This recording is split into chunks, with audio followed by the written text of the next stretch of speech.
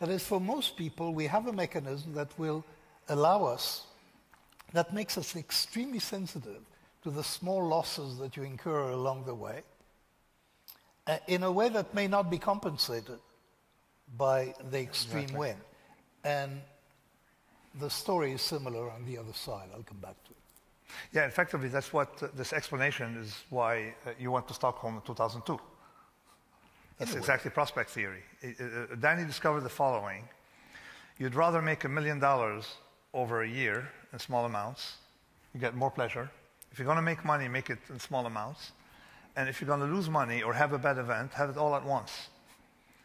Because losing, you'd rather lose a million dollar in one day than lose a little bit of money, Even in smaller amounts, okay, over two years, because by the third day it's like Chinese torture. No? And, and that's prospect theory. That's the reason he had the, the Nobel. He's the reason he, uh, you know, the, the whole thing. And people still haven't absorbed that point of the prospect theory. That's what, what, what uh, and, and we, when we met in 2003, I, I immediately found, you know, the embodiment of my idea right there, you know, in, in, in, in, in prospect theory and in, in that But, equation. but in a way, what you are, I mean, if we link it to prospect theory, what you're prescribing goes against the grain. That is, goes you're prescribing, uh, you're, you're prescribing a, a way of being or a way of doing things that exposes an individual to, to a long series of small losses in the hope of a very large gain. Yeah, no, not, not quite. What I'm doing is the opposite, trying to tell people do not uh, mortgage your future for small gains now. And, and they get it when you present it that way. There's another psychological thing that people tend to create a narrative that, you know, the, the large event will never happen. So, and there's another dimension of why do we have uh, uh, bankers, for example, they make pennies, they make pennies, they make pennies. And when a crisis happens, they lose everything they've made before. And effectively, in 1982, I was writing on the Black Swan. I got so many hate letters from bankers. In 1982, I showed why the banks lost in one quarter more money than they made in the history of banking until then, history of money center banking. They repeated it in 1991, and of course 2007. You don't need more, uh, you know, examples. So, and every time, but there's another dimension. It's not their money they're losing; it's your money. Anyone here who files that piece of paper on April 15 is subsidizing them because when they make the money, it's theirs, and when they lose the money, it's ours on April 15. Taxpayer sponsors it. So we have here what I call a transfer of anti-fragility. A banker is anti-fragile, he has upside, no downside. Taxpayer has downside, no upside. So you're going to have a lot of risk hiding on top of the psychological thing. So, and then you told me, you know, uh, the, the, there is the two effects, and I call them one fooled by randomness, the other crooks of randomness. Okay? So there's the fools of randomness and the crooks of randomness, you see? It's a combination that we see present in society. If you remove one, the crooks of randomness, you would have much less of it. This, of course, this phenomenon would prevail, although there's something called dread risk. People may be scared by extreme events if you present it to them properly, as you have shown. But, uh, but the, the, the phenomenon, crooks of randomness, is what we definitely can remedy. But I have one more thing to say. A, system that does not convert stressors, problems, variability into fuel is doomed. Well, um, I keep going back to the same point. This is not really what people want to do. Yeah. That is, I certainly, uh, you know, many of us certainly uh, go almost directly in New York from heating to air conditioning and vice versa, because we do like the constant temperature. So it, you are making a point which I think is true and deep that in, in some situations uh, that we are made for variability, that is, we are designed by evolution uh, to, to be able to cope with stresses and indeed, uh, as you, a point you made absolutely correctly, to benefit from stresses. But we're also designed to avoid stresses. To try to avoid stresses. That is, it's identical to randomness. We're made to hate randomness because the environment was given us randomness and it prevented us from dying, prevented us from encountering the big, uh, uh, you know, large-scale event. So we're made to hate all kind of randomness because we're not, you know, fine-tuned, you know, for, for, for such uh, uh, subtlety, okay, that some randomness in small amounts is good for us. So we realize randomness is bad, is bad, okay? So it's the same way, the same way we think that stressors are bad, when in fact, bad, big stressors are bad, small stressors are beneficial. This is the nonlinearity that we don't capture intellectually. Well, the psychology of it is the following that we're actually relatively more sensitive to small losses than to big losses, and to small harms than to big harms. That is, this, we have a limited ability actually to feel pain. And we feel a lot of pain for very little harm, and then it doesn't get worse proportionately. So that in some, in a very real sense, we're designed against what you want. Yeah, but except that, guess what, what saved us from this? Religion. I mean, I'm Greek Orthodox, all right? Uh, I'm not practicing, but sort of sometimes practicing for dietary reasons, okay? We have, and we have, I mean, think about it, it, it, it religions force you to fast force you to, to have variability in your food. Especially, we have 40 days for Lent, 40 days plus every Wednesday and Friday. No, and uh, you're vegan. So you're vegan so many days. Why? To prevent you from having protein. Well, because we're, we're part lion, part cow. The lion in us gets a protein with, with, uh, with a random frequency, Whereas the cow in us eats salad without dressing every day, all the time, right? So you see the boring and, and the, the hunter. So if you're made to get protein episodically, intermittently, and you get it all the time, you may be harmed. Religions have evolved to prevent us from that by banning us from eating protein seven days a week. You see? So you can look at uh, the fasts in Ramadan. It has, an, the very same purpose. So you see all these rituals were there to help us cope, force us on grounds, you know, of course, religion is like someone packaging a story uh, uh, for a, uh, you know, giving you a story, in fact, to force you to do something else. And, and that was a, I mean, so we have had mechanism to correct for this, uh, for the diseases of abundance. I mean, we live in a world today where a lot more people are dying of overnutrition than undernutrition.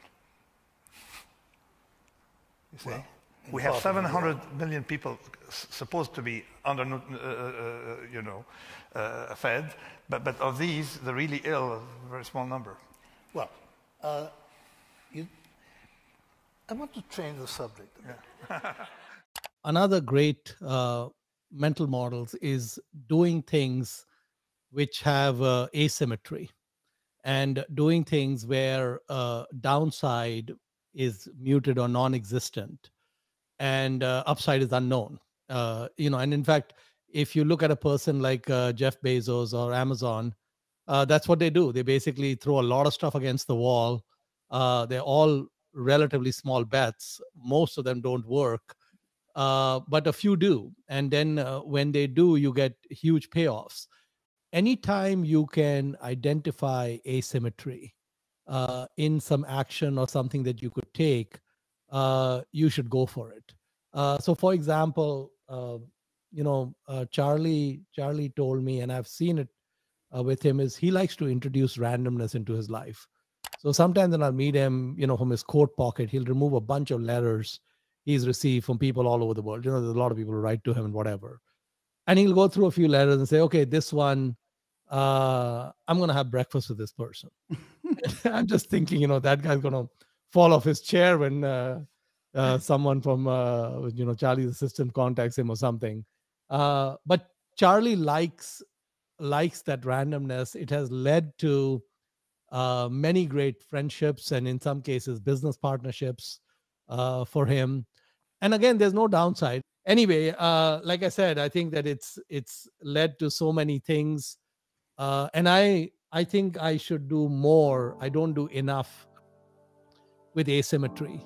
Uh, I think Amazon does an awesome job with asymmetry.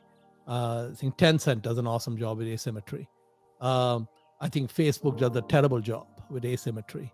So the difference between Amazon and Facebook, even though you didn't ask, is you know uh, the two Jeffs throw a lot of stuff against the wall, and uh, and basically um, basically most stuff doesn't work, but it's small bets. And uh, you know at Meta, there's a massive multi-billion single bet, and uh, good luck with that. That kind of violates the rules. Reflections. Besides the distortion in sensitivity caused by the magnitude level of the gain or loss, we can also notice another important bias in the graph, and that is that for the same unit of loss or gain, we feel more the pain than the happiness. This bias is called loss aversion. This is one of the most important biases in human nature and it explains a great deal of our reactions. This is why it is said that 70% of all consumer purchases are done to avoid a loss and 30% to get a positive benefit, according to ex FBI negotiator and business leader Chris Voss. Or, to some extent, why people are afraid of variability in general. So afraid that in the financial markets, people often even use volatility, that is, the fluctuation of prices as a measure of risk, which in an objective sense doesn't make any sense because real risk is only the potential for permanent loss of capital. Embracing randomness. Having some variability in the sense of adventure in your life is also way more fun than having a monotonous life in which you already know what you are going to be doing at each hour or minute of your day. This is what Nassim calls touristification of your life. Just like in a tour, everything has a specific time in the schedule, your life becomes a tour in itself if you already know in advance what you will be doing at each moment of your day. Also, having everything timely planned makes you more fragile because an unexpected event can only be negative, that is, there is only the downside. Whereas if you're adventurous, unexpected events will definitely have more upside than downside. Some aphorisms from Nassim Taleb on this. If you know, in the morning, what your day looks like with any precision, you are a little bit dead. The more precision, the more dead you are. You have a calibrated life when most of what you fear has the titillating prospect of adventure. The consistency bias makes the prospect theory even more powerful. We think that the big and frequent event, positive or negative, will never happen, so we do not seek the big potential payoff or prepare ourselves for a big potential loss. And we get complacent with the small frequent gains to feel like we are doing well, since it maximizes pleasure, and that we are in the right path, and everyone in our social circle respects or accepts us. Not only because you are often winning, but also because most people will choose this path. Falling prey of the prospect theory and consistency bias will make you way more likely to find and stay in a stable job rather than starting an entrepreneurial venture. If you're an employee, you have small frequent gains, that is your monthly salary. You feel good because you are feeling the pleasure of the gain in many doses, but you also accept the potential big event of losing your job and even defaulting on your mortgage if you get any. Maybe this structure of having certain and frequent gains is one motive for Nassim's aphorism. The three most harmful addictions are heroin, carbohydrates, and a monthly salary. If you're an entrepreneur, you are bleeding a bit every day, but you also set yourself up to profit from a big or frequent gain at some point in the future. And also because the upside potential in the entrepreneurship is unlimited, you could make way more money than the accumulated small gains of a corporate job. In terms of biased feelings, you feel bad every day, and the day you win big, you don't feel it that much because our sensitivity to feel decreases. So it sucks from a feelings perspective. But in absolute terms, in terms of financial freedom or freedom in general, I think you're way better off. In words of Naval Ravikant, if you're willing to bleed a little bit every day, but in exchange you will win big later, you will do better. That is, by the way, entrepreneurship. Entrepreneurs bleed every day. They are not making money, they are losing money. They are constantly stressed out. All the responsibility is upon them, but when they win, they win big. On average, they will make more. Would you like to get access to the finest nuggets from the best nonfiction books out there? If you do, you should check out Shortform. For disclosure, Shortform is not sponsoring this video, but there is an affiliate link in the video description. Why am I promoting Shortform? Well, my purpose through this channel is to collect valuable insights from videos of people that I deeply admire. Now imagine if you can easily get the most valuable insights from the best nonfiction books. This is what you can find on Shortform. A curated selection of the best books, and for each book you can find a carefully crafted summary in which all the book's relevant ideas are analyzed. This is why I absolutely love to read on Shortform and would recommend it to anyone. As Charlie Munger argues, to have a good and successful life, you have to create a mental model from all the big ideas, from all the big disciplines. And Shortform can be extremely helpful for this matter, as it literally extracts all the big ideas from the best nonfiction books, helping you to create this mental model in a faster and more efficient way. And with these valuable ideas becoming second nature to us over time, I think we will be able to build our best lives by standing on the shoulders of giants, as Sir Isaac Newton would put it. Now, the way I personally read on Shortform is to pick from my personal library any book that sparks my interest at that moment and start reading it. Typically, I will read sometimes in the morning after waking up, sometimes at night before going to sleep, and many times I will do a short read on the mobile phone app when, for instance, I'm in a restaurant alone waiting for the food or commuting somewhere. I created my personal library by quickly scan through all the books on Shortform, and for any book to make it on my library, it has not only to interest me, but it also must fulfill at least one of two conditions. Jones. One is that I already know the author of the book from an interview in some podcast or any other source that I personally trust. And the other is that the book itself has been publicly recommended by people who I deeply admire. If you are interested in Shortform, you can visit my special link shortform.com slash nuggets. I will also leave the link in the description of the video. By joining with my affiliate link, you will be supporting this channel and you can have unlimited access for 5 days and a 20% discount on the annual subscription if you do choose to keep going after the end of your trial. Thanks for watching.